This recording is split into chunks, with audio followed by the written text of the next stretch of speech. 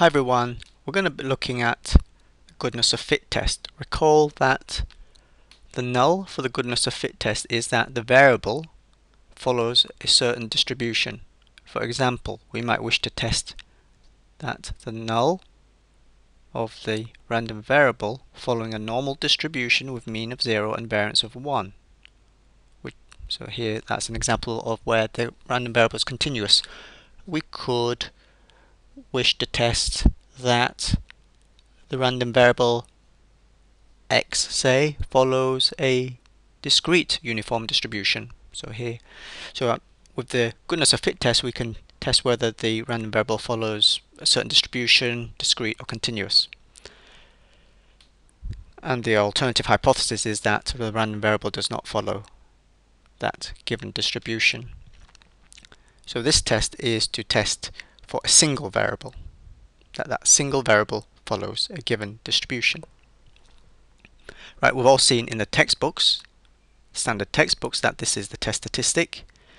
OI is the observed number of cell of counts in cell I. EI denotes the expected number of counts in cell I if the null were true. So the idea is that if the null is true, that the differences between for each cell between the observed and the expected should be, in ideal sense, zero, because they should be this, they should match.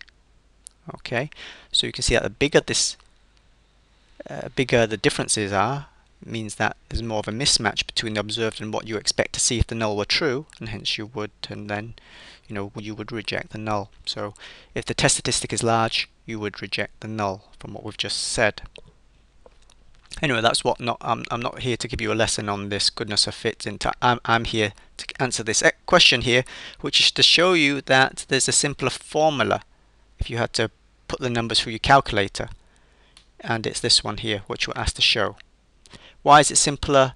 It's simpler because we don't have to compute squared differences. Okay. Now, some of you will recognize that the idea of not having to calculate square differences is similar is basically the idea that was adopted for the sample variance which we'll note at the end.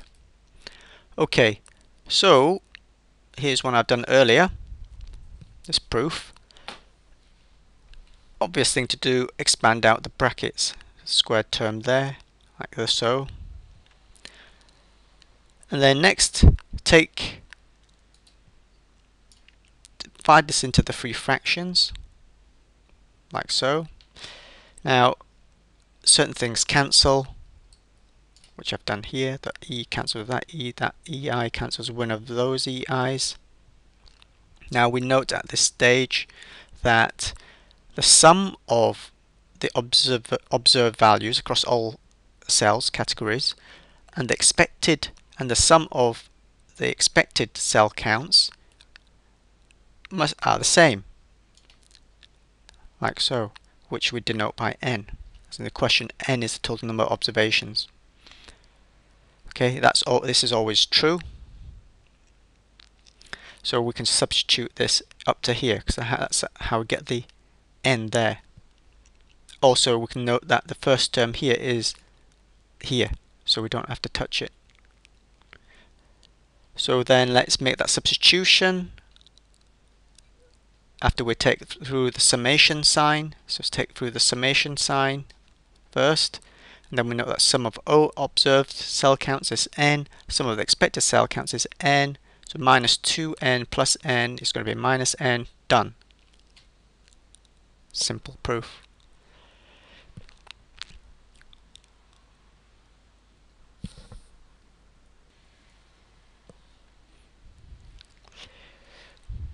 Okay, and then just to mention what I've said before, the idea of this proof is similar to the case that we encountered for the sample variance. Look at this. Recall that the formula is this, which is involves the sum of squared differences.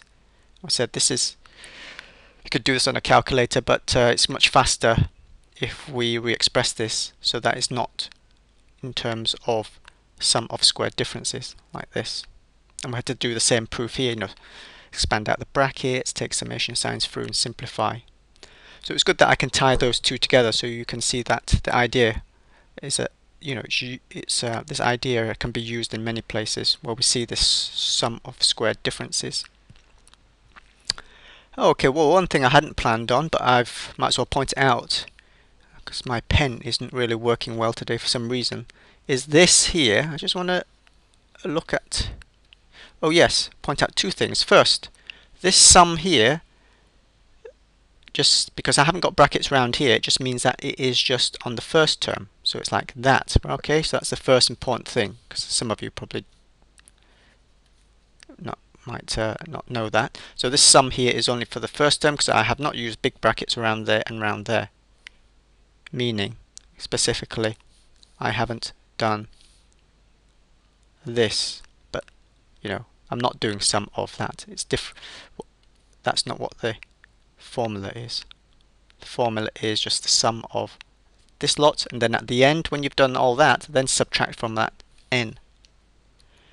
Okay well recall I said that if the null is true that the test statistic will be very small because the sum uh, say that the observed cell counts is equal to the observed cell count so let's say if the null is tr true 100% for sure, observed value for cell i is equal to expected value of cell i. What would happen to this test statistic?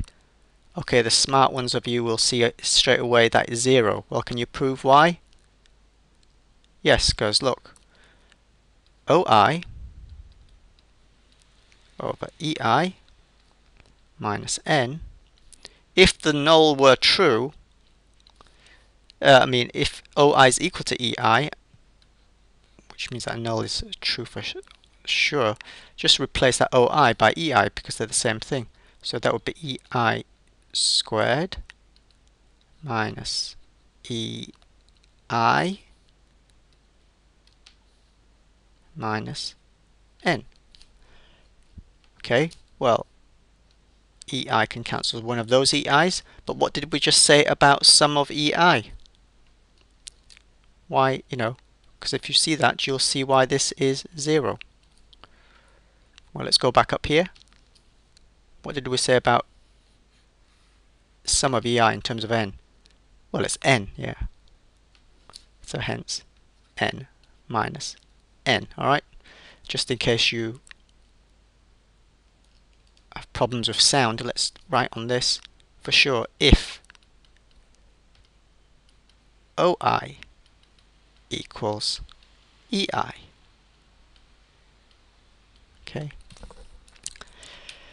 So uh, you know, given that's a way to kind of understand what you're doing. Look at the formulas. The formula's trying to tell you something. Think about different scenarios. Think about, you know, when does that uh, test statistic, when is it small, when is it large? And that'll give you an idea of how the thing is working. Fantastic. Right, I'm Phil from statisticsmentor.com.